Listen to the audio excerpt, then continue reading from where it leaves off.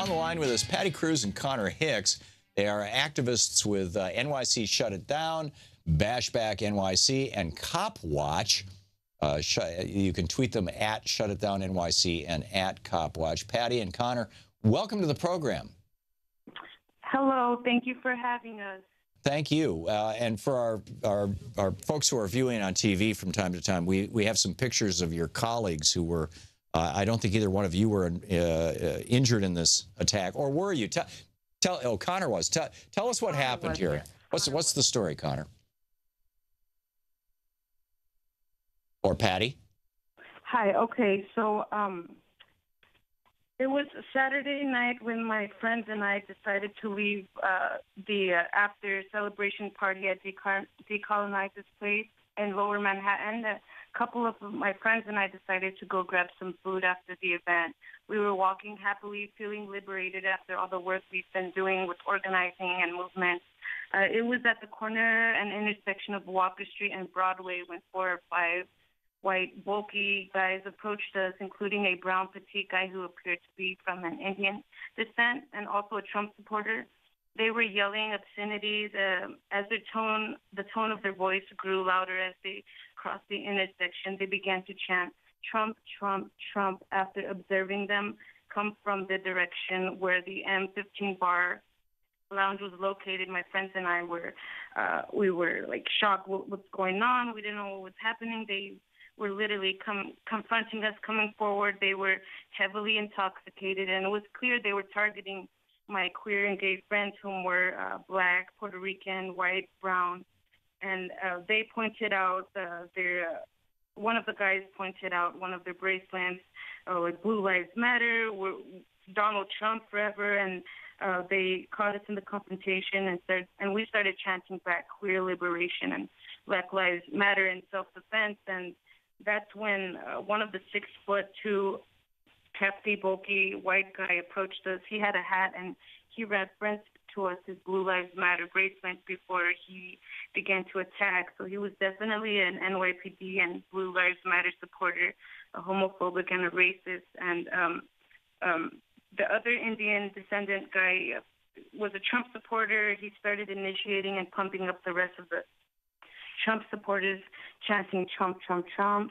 I and uh, the other individuals were scared stiff, petrified, and when the six two foot Trump support uh, Trump supporter was beating and uh, punching uh, my friend Colin, uh, he was on the ground trying to block himself in self defense, and everyone else was scattered trying to um, remove every of the Trump supporters off of our friends. So I couldn't stand there uh, looking at this guy um, beating, pounding, constantly hitting Colin, who is a, a queer black individual, and I uh, thought to myself, what can I do in self-defense and help him? So I remembered I could just kick this guy. I started kicking him in the prenatal area, hoping that he would stop.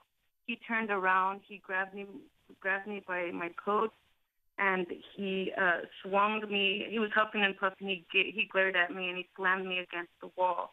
Thankfully, I had my backpack on. Otherwise, I would be in the hospital for any back or head injuries. Wow. Uh, another another friend of ours named Claire attempted to get the same guy off of uh, Colin. She grabbed him by the neck to stop him. He would not stop.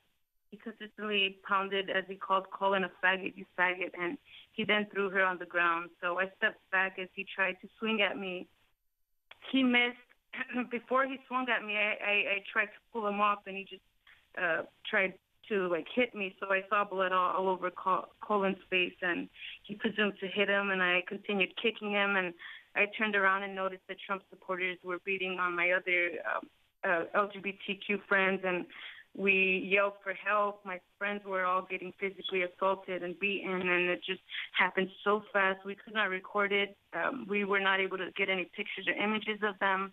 It got so violent quickly that uh, it was their intention to fight. Uh, right. Fight my. Do you, uh, uh, Patti? Do you? Uh, and and and I, I I believe Colin is, or Connor, Connor Hicks is with you too, Connor, and we we just have two minutes left. I wanted to get you in on this. Um, yeah. Do you, do, Connor, do you do you think that these were New York City police officers, or were they just guys wearing Blue Lives Matter wristbands because they love cops?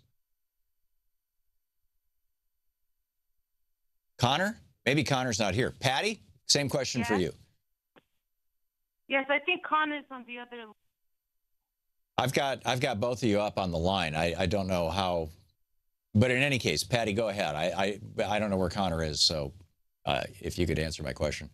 Oh, can you repeat your question? Yeah. Do you think that this that the, that these guys were New York City police officers, or were they simply you know big burly white guys who loved Donald Trump and were wearing Blue Lives Matter wristbands, which frankly I've I've never seen outside of being worn by police officers.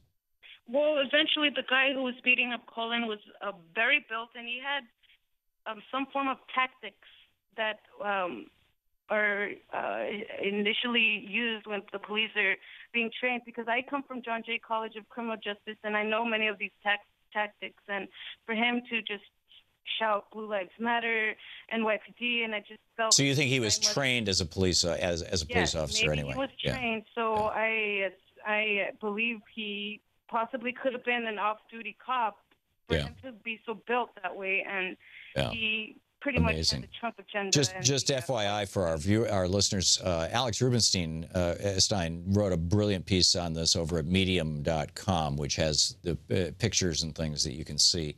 Uh, Mm-hmm. Patti is. there's no way to find out who these guys are now, right? No, which is just upsetting because we're trying to figure out what uh, if we can grab any uh, images or footages from the buildings where it had happened at the intersection.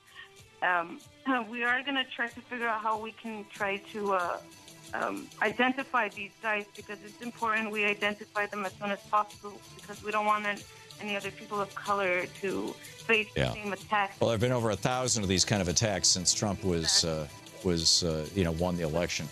Patti Cruz, Connor Hicks. Patti, thank you for being with us today. Good talking. You're welcome. I wish you the best.